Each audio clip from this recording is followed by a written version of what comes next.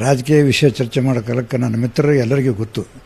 ನಾನು ಮೋದಿಯವರ ಆಡಳಿತವನ್ನು ಮೊದಲಿನಿಂದನೂ ನಾನು ಅಪ್ರಿಷಿಯೇಟ್ ಮಾಡ್ತಾನೆ ಬಂದಿದ್ದೀನಿ.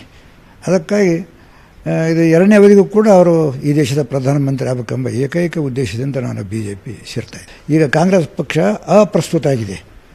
ಅದರಿಂದೇನು ಉಪಯೋಗ ಇಲ್ಲ. ಕಾಂಗ್ರೆಸ್ ಪಕ್ಷದಿಂದ ಯಾಕಂದ್ರೆ ಧುರಿಣತ್ವ ಭಾಳ ತಪ್ಪು ದಾರಿಗೆ ಹೇಳ್ತಾ ಇದ್ದಾರೆ. ಭಾಳಷ್ಟು ಸೇವಾ ಮಾಡಿದ ಹಿನ್ನೆಲೆ ಇದೆ. ಈಗ ಸದ್ಯದ ಲೀಡರ್ಶಿಪ್ ಏನದ? ಭಾಳ ತಪ್ಪು ದಾರಿಗೆ ತಗೊಂಡು ಹೋಗ್ತಾ ಇದ್ದಾರೆ ಪಕ್ಷನ. ಭಾಳ ತಪ್ಪು ತಪ್ಪು ದಾರಿ ತಗೊಳ್ತಾರೆ ಪಕ್ಷದಲ್ಲಿ ಕಡೆಗಣಿಸೋದನ್ನು ಕೂಡ ಒಂದು ವಿಚಾರ ಅದನ್ನ ಇಲ್ಲ ಅಂತ ಅನ್ನೋದಲ್ಲ.